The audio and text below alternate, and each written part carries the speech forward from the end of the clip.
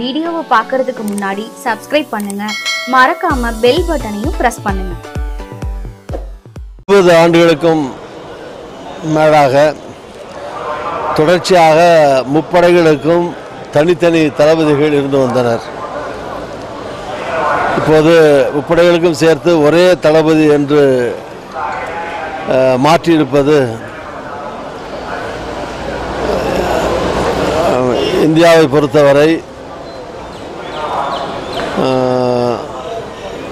இது ஒரு அவசியமற்ற மாற்றம் என்றே கூற வேண்டும்.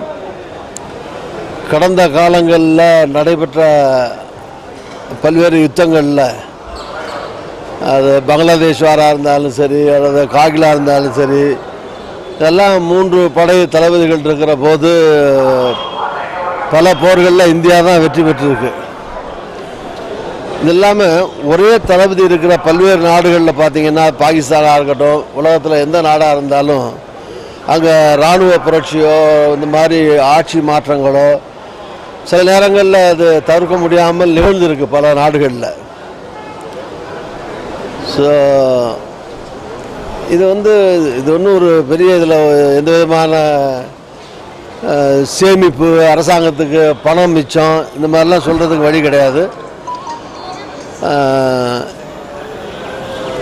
இது வந்து ஒவ்வொரு துறைகள்லையும் எப்படி வந்து மத்திய பிஜேபி அரசு தலையிடுதோ அதே மாதிரி இராணுவத்திற்குள்ளும் பிஜேபியினுடைய அரசினுடைய தலையீட்டை இது காட்டுகிறதே தவிர இதில் ஒரு பெரிய நிர்வாக சீர்திருத்தம் என்பது எதுவும் இல்லை.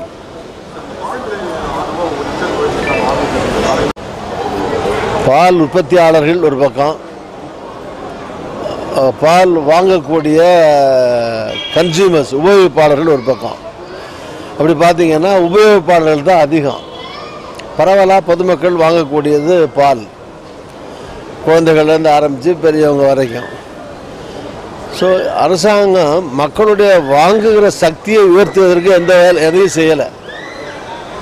பல பேர் படிச்சுட்டு ஒரு கோடி பேர் தமிழ்நாட்டில் வேலை இல்லை. மத்திய அரசு மத்திய அரசு பங்குக்கு பெட்ரோல் விலை டீசல் விலை மண்ணெண்ணெய் விலை சமையல் எரிவாயு இப்படி மத்திய அரசு ஒரு பங்குக்கு உயர்த்திக்கிட்டே இருக்குது ஸோ மாநில அரசு இது மாதிரி அதிகமாக உயர்த்துவது என்பது இது வந்து சாதாரண நடுத்தர ஏழை எளிய மக்களை வந்து மிகவும் பெரிய அளவில் பாதிக்கும். அதனால் அதனால் இந்த இந்த உயர்வு எப்போதாவது ஒரு முறை உற்பத்தியாளர்கள் கோரிக்கையை ஏற்று எதாவது பண்ணுவாங்க திடீர்னு நினைக்கிற போதெல்லாம் விலையை ஏற்றிக்கிட்டே இருக்கிறங்கிறது பொதுமக்களுக்கு அசௌகரியமானது பொதுமக்களுக்கு சுவை தரக்கூடியது இது தவிர்க்கப்பட வேண்டியது இந்த மாதிரி விலை உயர்வை கண்டிக்கிறேன் நான் ஒரு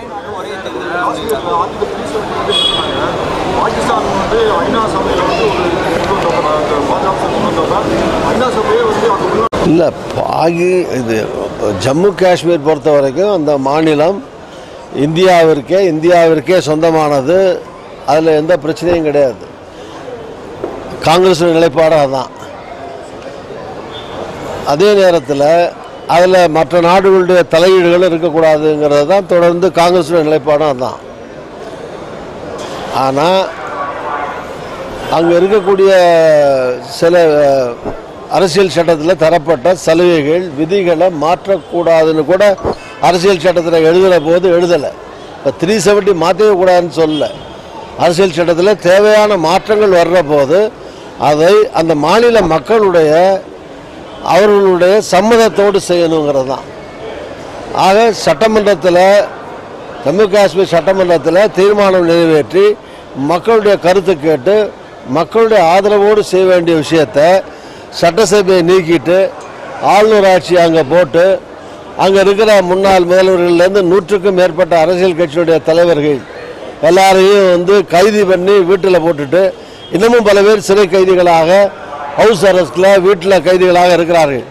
இப்போ ஃபருக் அப்துல்லா அவர் மகன் அந்த அம்மா ஒருத்தர் நேற்று நேற்றைய கூட காங்கிரஸ் தலைவர்கள் பேட்டி கொடுக்கும்போது பல பேரை கைது பண்ணி கூட்டி போகிறாங்க இது மாதிரி நூற்றுக்கும் மேற்பட்ட அரசியல் தலைவர்கள்லாம் கைது பண்ணி வீட்டில் வச்சுட்டு அங்கே என்ன சீர்திருத்த நடவடிக்கை எடுக்கிறாங்க? யாருக்காக? மக்களுக்காகத்தான் நடவடிக்கை?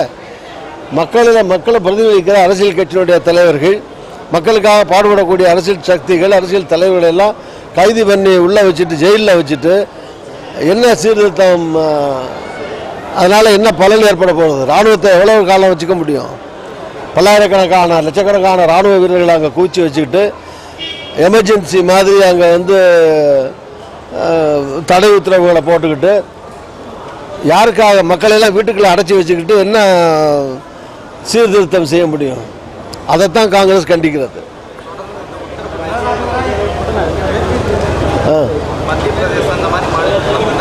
நாட்டிலையும் வந்து நான் வந்து வேலைவாய்ப்பு வந்து இப்போ பல இடங்களில் பார்த்தீங்கன்னா மத்திய அரசு அமைப்புகளாக இருக்கட்டும் நிறுவனங்களாக இருக்கட்டும் சென்ட்ரல் கவர்மெண்ட் டிபார்ட்மெண்ட்ஸாக இருக்கட்டும் அதெல்லாம் வந்து தமிழ்நாட்டில் இருக்கிறவங்களுக்கு தமிழ்நாட்டில் வேலை கிடைக்கிறத காட்டிலும் வேறு மாநிலத்தில் இருக்கிறவங்களுக்கு அதிகமாக கிடைக்குது.